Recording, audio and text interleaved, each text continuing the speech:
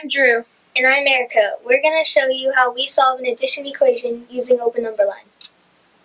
Let's use the problem c plus 247 equals 350. The first step is to write your problem and draw your number line. Next, place your variable on the far left of the number line. Why? Because you are adding, and when you add on a number line, you're going to move toward the right.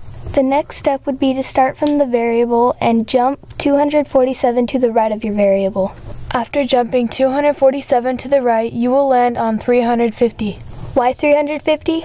Look back at the equation. It says some number c increased by 247 is 350. You are now 247 units away from your variable c and on the number 350. The question now is how do you get back to your variable? Since we've got 350 by adding 247, we'll go back to our variable by using the inverse operation, subtracting 247. While you're jumping back, you don't have to jump 247 at once. You could first jump 200 to the left. You should land on 150. Next, jump 40 to the left. You will be on 110. Finally, jump 7 to the left. You will be left with a difference of 103. Open number lines benefit you because they are very visual. And they're kind of fun too. Thank, Thank you for watching.